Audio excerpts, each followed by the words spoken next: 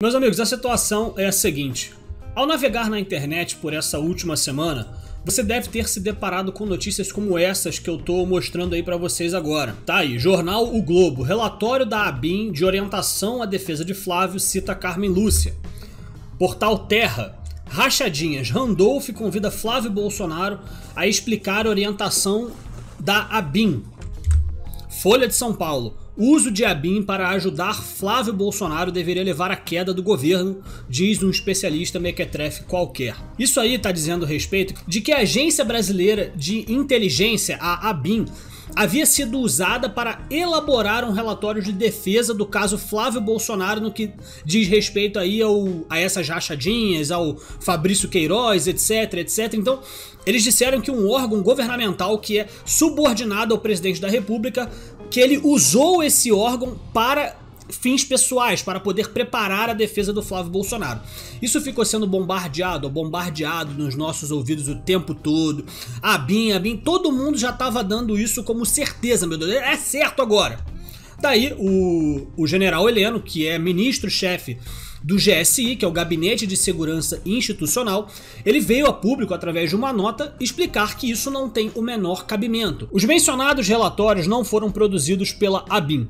Supostos trechos divulgados apresentam-se mal redigidos, com linguajar atécnico que não guarda relação com a atividade de inteligência. As acusações se pautam em torpe narrativa, desprovida de conjunto probatório supostamente contida em documentos que não foram produzidos pela ABIN. Reitera-se na íntegra a nota à imprensa do Gabinete de Segurança Institucional de 23 de outubro de 2020, na qual é declarado não ter sido realizada qualquer ação por entender que, dentro das suas atribuições legais, não competia ao GSI ou à ABIN qualquer providência a respeito do tema. Basicamente, o general Heleno ele desmente qualquer afirmação com relação a isso, mais uma fake news compartilhada ao máximo aí pela grande mídia.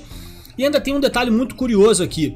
Ele fala que foi enviada uma nota para a grande mídia a respeito desse caso no dia 23 de outubro de 2020 havendo dizendo que aquele documento ao qual eles se referiam não tinha a menor relevância, não tinha a menor relação com a Agência Brasileira de Inteligência. E, como vocês puderam ver, diante de tantas manchetes relacionando a BIM ao Flávio Bolsonaro, ficou claro de que eles ignoraram completamente tudo o que foi respondido. Então, mesmo que você diga, olha só, a gente não tem nada a ver com isso, eles vão lá e publicam, porque questão de manchete, questão de clique, questão de desidratar o governo, que, que eu tô mostrando isso aqui para vocês, além de, obviamente, desmentir mais uma fake news da grande mídia?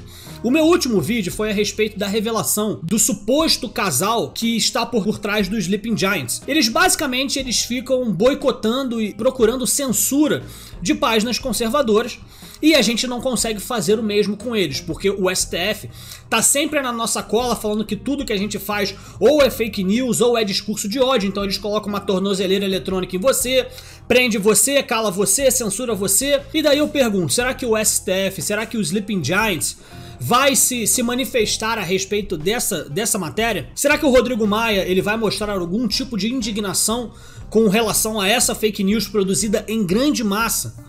pela grande mídia, é óbvio que é um jogo completamente injusto, mas também é bobeira nossa, é idiotice nossa para dizer mais, para ser mais sincero, da gente querer jogar o jogo que eles mesmos criaram.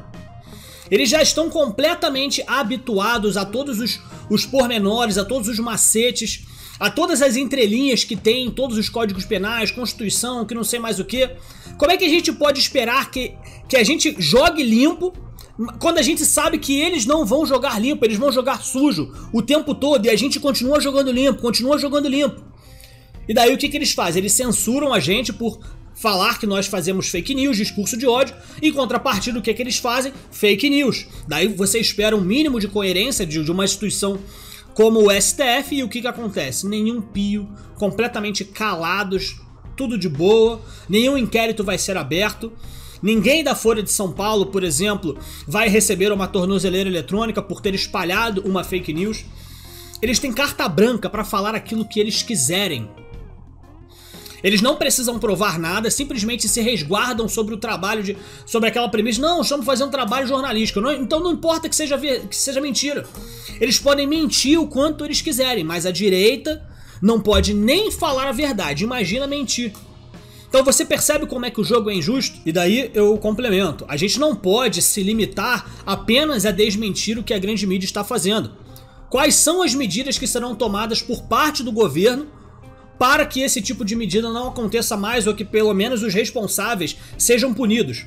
Na, na, na matéria que eu li para vocês dessa nota, o general Heleno falou que acionou a GCU para que a verdade seja restabelecida. Mas o que significa que a verdade seja restabelecida? Vai, sei lá, vai forçar a grande mídia a publicar uma nota dizendo que na verdade aquilo era mentira, que não sei mais o que, e fica por isso mesmo? Até eles mentirem de novo? Isso se eles forem obrigados a fazer alguma coisa desse tipo?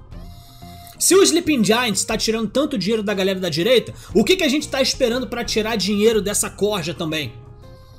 O que, que o Flávio Bolsonaro, por exemplo, está esperando para ir processar lá o, a Folha de São Paulo, a Terra e não sei mais quem, o Rondolfo Rodrigues, todo mundo que ficou compartilhando essa notícia mentirosa. Cadê algum deputado para abrir um, um, um, uma denúncia no STF pedindo para abrir um inquérito para poder investigar por que, que uma fake news foi compartilhada em massa?